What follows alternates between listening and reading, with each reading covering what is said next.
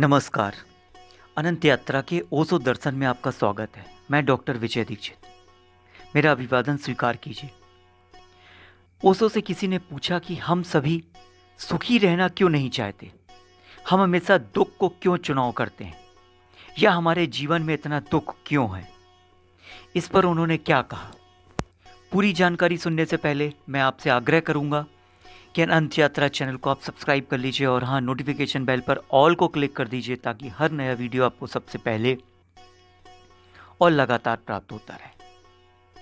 प्रश्न कुछ इस तरह है, ऐसा होता है कि हम अक्सर दुखी रहना ही चुनते हैं। आखिर क्यों? इस पर ओसो कहते हैं, यह मनुष्य की समस्याओं में सबसे क्लिष्ट समस्या है।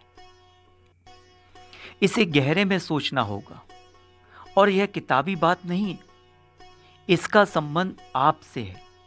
हर व्यक्ति इसी तरह का व्यवहार कर रहा है।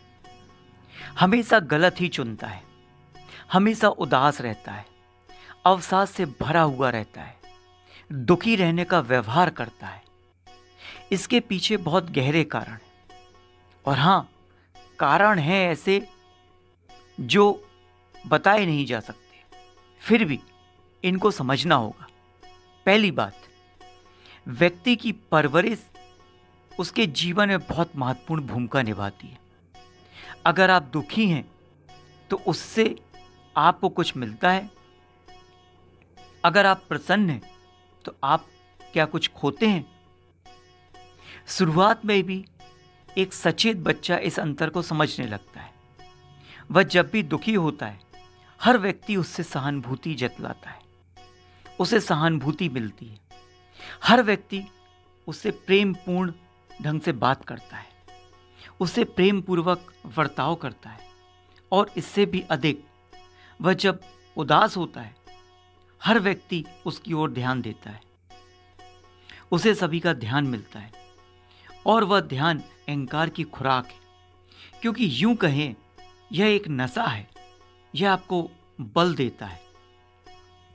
और आप सोचते हैं कि आप कुछ कुछ भी हो, तभी अपनी ओर ध्यान आकर्षित करने की इतनी आवश्यकता है, इतनी प्रबल इच्छा रहती है। अगर हर व्यक्ति आपको देख रहा है, आप बड़े हो जाते हैं। अगर आपकी ओर कोई ध्यान नहीं देता, आपको लगता है जैसे आप हैं ही नहीं।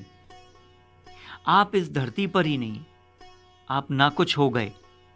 लोगों का आपकी ओर ध्यान देने का अर्थ खत्म हो गया। वे आपकी ओर ध्यान नहीं दे रहे अहंकार रिश्तों में जीता है। जितने अधिक लोग आपकी ओर ध्यान देंगे, उतना आपका अहंकार बढ़ेगा। अगर कोई आपकी ओर नहीं देखता तो अहंकार विसर्जित हो जाता है। अगर कोई आपको भूल गया है तो अहंकार कैसे जिएगा? तो आपको कैसा लगेगा कि आप हैं? तभी तो समाज, संस्थाओं, क्लब इत्यादि की ज़रूरत होती है। क्लब पूरे विश्व में मौजूद हैं। चाहे रोटरी क्लब हो, लॉयंस क्लब हो, मैसोनिक क्लब हो, लाखों क्लब हैं, लाखों ग्रुप हैं, सोसाइटी हैं। क्लब केवल इसलिए हैं कि इन व्यक्तियों की ओर कभी ध्यान न जा सके तो उनको ध्यान दिलाने के एक रास्ते हैं, एक स्थान है।